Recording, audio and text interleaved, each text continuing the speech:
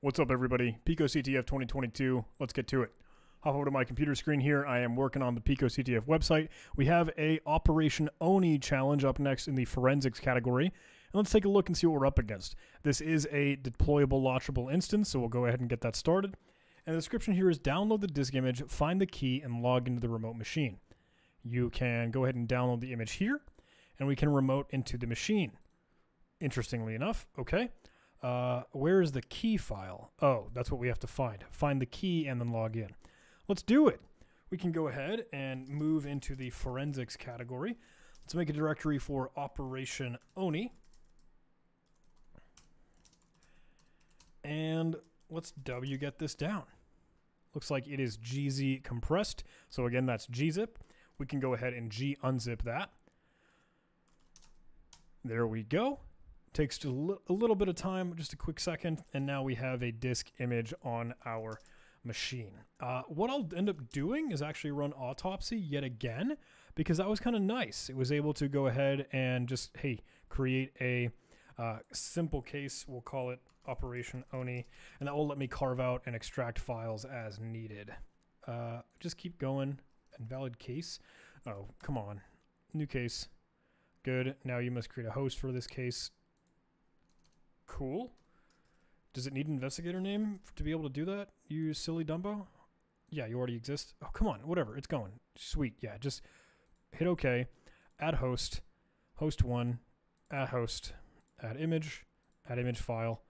And we need the full path of this. So let me create a new terminal. Uh, in the previous video, I actually still had a other terminal open. So let me just go move into this and let's run real path on this fella. With that, we have his absolute path, and I can just slap it in here. Hit next. Totally fine for just about everything. Totally fine for just about everything. We did all this already in a previous video. So what we'll end up doing is just analyzing what looks like the biggest file size partition. This is probably going to be the file system, in which case we'll go ahead and click analyze.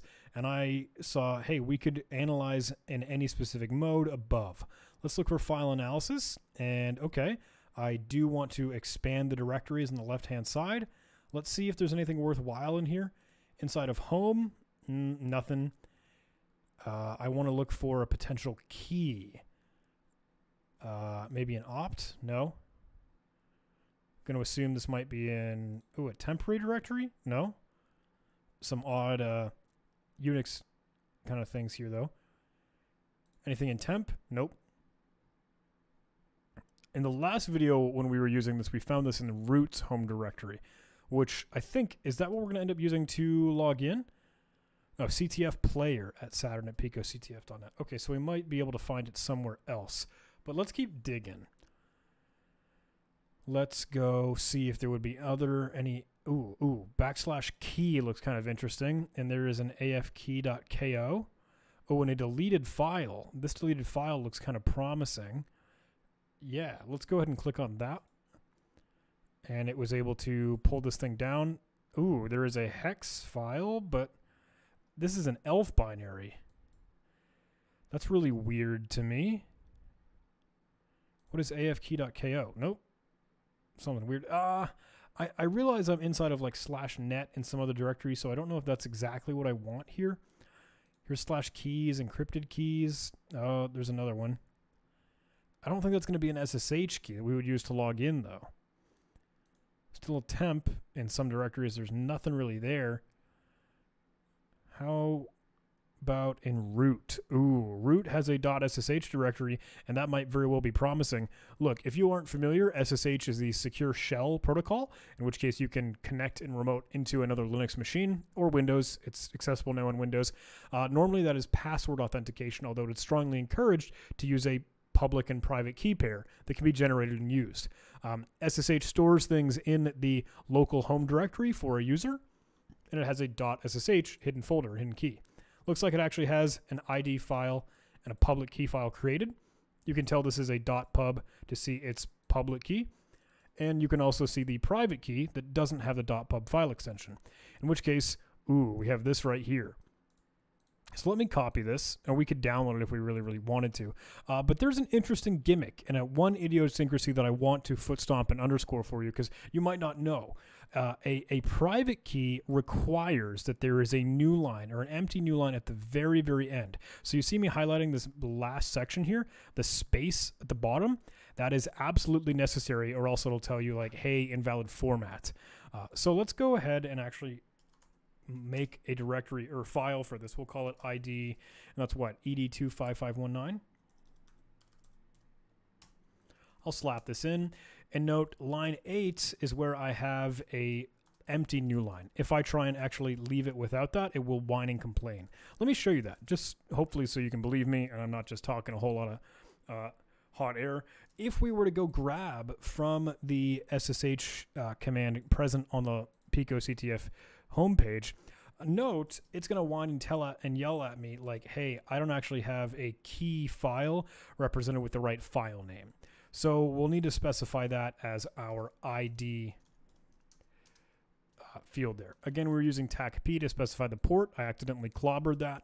Hit enter, but it will yell at me like, hey, this is an unprotected private key file. You will need to make sure that it has enough permission set that it can be trusted. Um, it's normal and standard and kind of tradition that, look, SSH private keys are not uh, supposed to be accessible by others because it is meant to be a private key. In which case, if you actually take out take a look at the file permissions, sure, our ID ED2559 whatever is world readable in the permissions described here.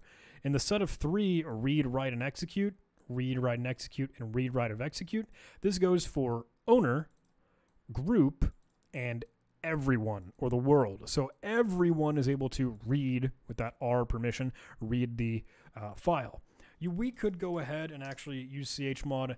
Oftentimes, how we created the executable bit for binaries, we could actually remove the read bit on our ID file. With that done, we can see, ooh, now we now we can't even read it though. Whoops. Okay.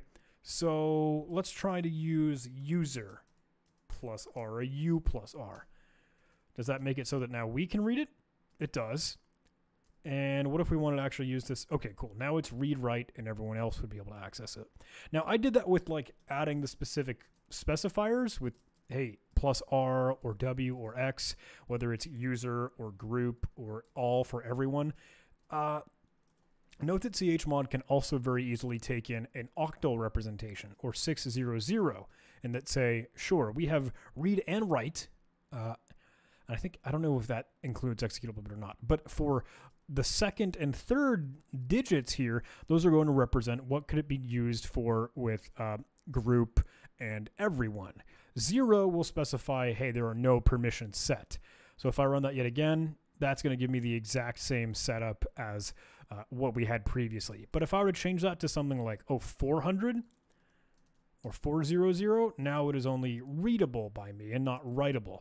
Uh, if you wanted to get into like the Unix permissions calculator, there are a lot of resources for that online. I believe four uh, is what's going to give you a baseline of reading something. Uh, a one will give you just strictly an executable. In which case, hey, you see only that is executable for me. Uh, but if we were to make it one plus four, it'll be 500 or five in that case, right? And that will be read and execute.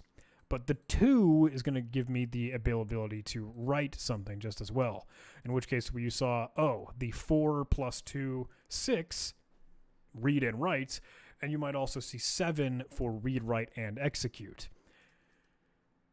It is standard for SSH private keys to be 600 or 600 for their permissions as they're set. Now, we could go ahead and finally use our SSH command and that should allow us to work with it. However, note that it whines, this is an invalid format.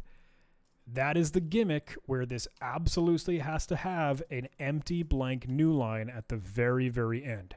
So I've hit Control S on my keyboard to save that. And now, let me try and run that same command. Boom.